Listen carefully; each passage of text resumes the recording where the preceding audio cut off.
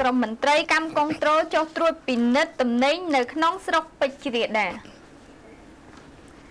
ក្រុមមន្ត្រីចម្រុះដែលដឹកនាំដោយកម្មកុងត្រូលកាលពីថ្ងៃទី1កញ្ញាម្សិលមិញបានចុះត្រួតពិនិត្យទំនិញបរិភោគនៅតាមតូបនានាស្ថិតនៅក្នុងភូមិជ្រៃនៃស្រុកពេជ្ររាដា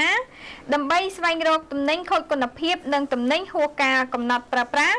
ក្នុងគោលដៅរក្សាសុខភាពជូនប្រជាពលរដ្ឋខណៈដែលទំនិញខូចគុណភាពត្រូវបានគេជឿថាបច្ចុប្បន្នកំពុងតែធ្វើឲ្យមានការភ័យខ្លាចនោះ។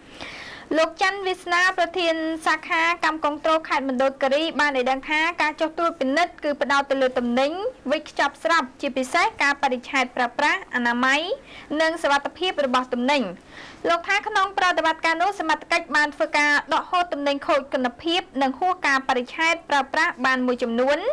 ក្នុងនោះមានដូចជាចាហួយដូងម៉ាក់ញីបិញចំនួន10កែ សស្មើនឹង160គីឡូក្រាម ទឹកក្រូចកូកាកូឡាចំនួន129ដបភេសជ្ជៈម៉ាកឆាំឆាំចំនួន10កំប៉ុង ទឹកដោះគោម៉ាកឈុកឆាំដាំ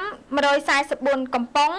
ទឹកត្រចៀកកាំម៉ាក Nature ចំនួន24កំប៉ុង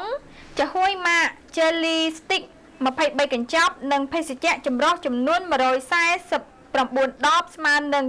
78គីឡូក្រាម។ រាល់តំណែងដែលដកហូតបានទាំងនោះនឹងត្រូវគណៈកម្មការចម្រុះប្រមូលយកទៅដុតកំទេចចោលនៅឃុំពូជ្រៃស្រុកពេជ្ររាដាខេត្តមណ្ឌលគិរីគូបញ្ជាក់ថាអំឡុងការចុះត្រួតពិនិត្យនោះក្រុមមន្ត្រីកម្មកុងត្រូលក៏បានបិទនៅផ្ទាំងរូបភាពស្ដីអំពីម្ហូបអាហារនៅតាមតូបនីមួយៗផងដែរដើម្បីឲ្យម្ចាស់អាជីវករបានយល់ដឹងពីអនាម័យក៏ដូចជាការតាំងលក់នៅរបស់របរដូចជាកំប៉ុងកំពិត និងតំណែងចិត្តហួសការបរិច្ឆេទក៏ដូចជាការណែនាំឲ្យរៀបចំនៅមុខតំណែងមានសណ្ដាប់ធ្នាប់ដាច់ដោយឡែកពីគ្នារវាងតំណែងហូបចុកនិងតំណែងសម្រាប់ការប្រើប្រាស់ជាដើម។